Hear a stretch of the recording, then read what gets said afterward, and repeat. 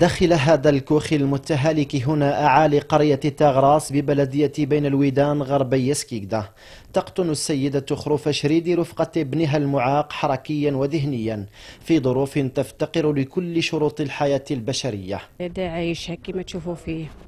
كما تشوفوا فيه عايش الطفيل هذا. ما يخرج ما يمشي ما يهدر ما حتى ما حتى حاجة. قالها الشباب نتاع صغروا الشباب نتاعو راح تحطم تحطم الحياة نتاعو محطم ما عايش. أنتم تشوفوا فيا هنا في نص الغابة. عايش. عايشة بصدقات المحسنين عايشة بيهم. اللي يصدق عليا ناكل كي ما يصدقوش عليا ما ناكلش. الحياة هنا صورة واحدة ومشهد ثابت.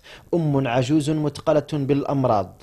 تكابد الحياة وتصارع الظروف لخدمة ابنها المعاق. وسط سعي دائم من أجل تحقيق لقمة العيش. ليلة على بالك نصيب الليل ما يطيحش ما يطيحش خلاص ديما النهار باش نسمع العباد يهضرون نسمع على الفراخ يوتوتون الراه العباد كلش.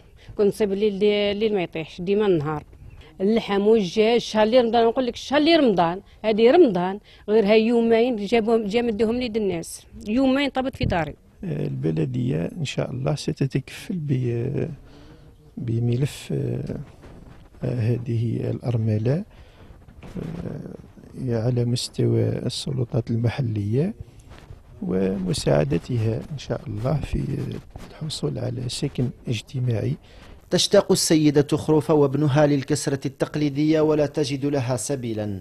يبكي الولد على قهوة سوداء وبالكاد توفرها له. أما اللحم فلا يزور المطبخ إلا نادرا.